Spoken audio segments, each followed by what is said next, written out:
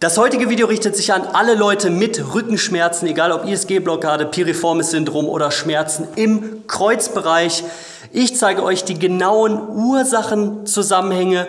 Was haben eure Schmerzen mit Fehlhaltung zu tun? Was haben Fehlhaltung mit muskulären Disbalance zu tun? Und wie beseitigen wir diese, um eben genau die Ursache für eure Problematik zu lösen? Mit den Informationen aus dem Video wünsche ich dir wie immer viel Erfolg. Hallo, schön, dass du wieder eingeschaltet hast. Mein Name ist Luke Brandenburg, Medical Fitness Trainer. Und ja, wie im Intro besprochen, geht es heute um das Thema Rückenschmerzen. Ich habe mir den Peter zur Unterstützung mitgebracht. Schön, dass du dabei bist.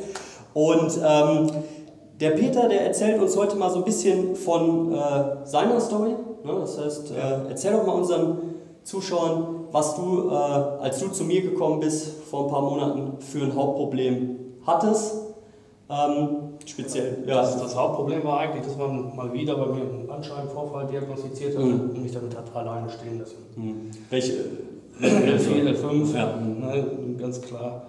Ähm, und habe auch viel YouTube-Videos geguckt mhm. und mit Mobility versucht, und, aber nur dieses alleine Langziehen, das reicht mhm. nicht, reichte nicht.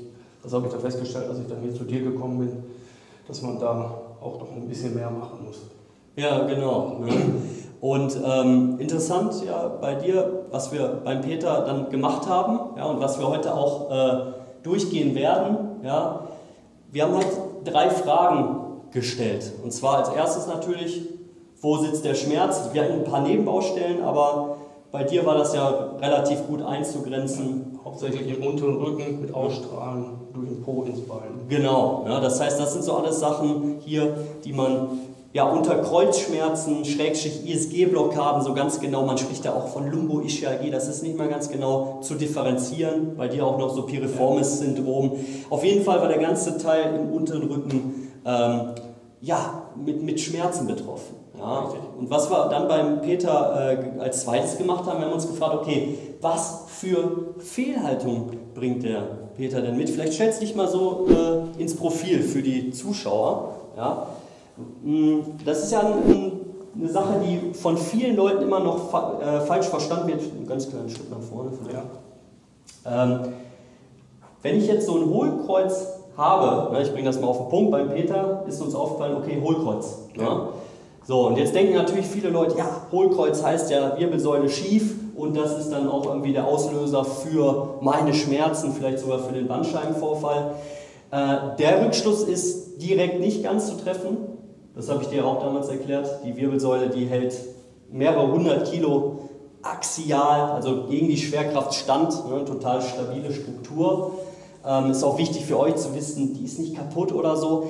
Aber anhand von einer Fehlhaltung kann ich ja immer ein gewisses Spannungsmuster erkennen. Ja? Und ähm, wir haben dann auch sehr, sehr schnell festgestellt beim Peter, ja klar, Hauptmuskel Nummer 1, der für ein Hohlkreuz sorgt, kannst du ja auch nur sagen. Weißt du ist der Hüftbeuger. Ist der Hüftbeuger. Ne? Grafik blende ich hier mal ein.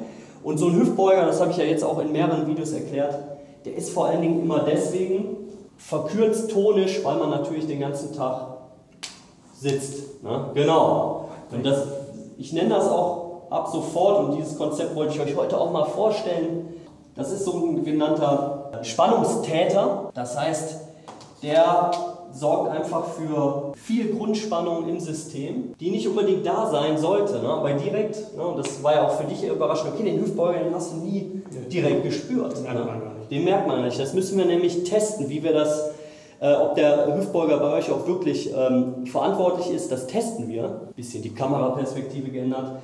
Und ähm, das ist so interessant, weil die Ursache für ein Problem, unterer Rücken, ja, das sind hier oft die Spannungsopfer. Das heißt, hier haben wir zum Beispiel den Quadratus lumborum, den Piriformis. Ja, der Quadratus, der sitzt über eurem Becken, der Piriformis so ein bisschen unter eurem Becken, ist ein Hüftstabilisator, die halt indirekt, ja, weil dieser Hüftbeuger halt verkürzt, ja, fällt man ja ins Hohlkreuz. Ja, was passiert? Ich habe viel Spannung hier, ich habe viel Spannung da. Diese Muskeln, die müssen anfangen zu arbeiten, wofür sie gar nicht gemacht sind. Und dann hilft tatsächlich erstmal diesen Hüftbeuger lösen, aber wir müssen sogar noch einen Schritt weiter gehen und einen Spannungsträger der so gut wie immer, ne, ich habe den jetzt sehr oft hier auf dem Kanal vorgestellt, die Spannung übernimmt. Spannungsanker? Der, der TVA. Der TVA, genau. Und wie ihr den aktiviert, plus zwei weitere wichtige Spannungsanker eures Körpers für eine optimale Haltung, findet ihr halt auch in meinem kostenlosen Medical Fitness Einsteigerkurs. Den Link findet ihr in der Videobeschreibung. An dieser Stelle habe ich mich dazu entschlossen, einen Schnitt zu machen. Das war jetzt Teil 1 zum Thema Kreuz- und Rückenschmerzen, wo ich euch einmal den Ursachen- und Wirkungszusammenhang gezeigt habe, der häufig für Rückenschmerzen verantwortlich ist. Ich hoffe, ich konnte euch damit helfen.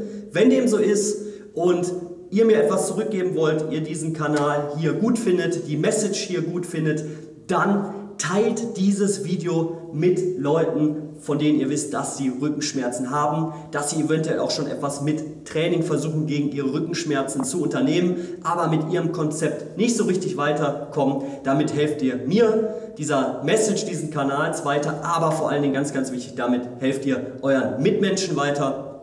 Und wir sehen uns jetzt im nächsten Teil wieder, Teil 2, wo äh, wo ich euch zeige, wie wir den Hüftbeuger mobilisieren, wo wir die ganze Beckendynamik äh, wieder in den Griff kriegen mit einer praktischen Übung. Der Peter ist auch wieder dabei. Und in diesem Sinne, vergesst nicht den Daumen nach oben zu geben, den Kanal zu abonnieren und wir sehen uns spätestens im nächsten Video. Bis dahin, ciao!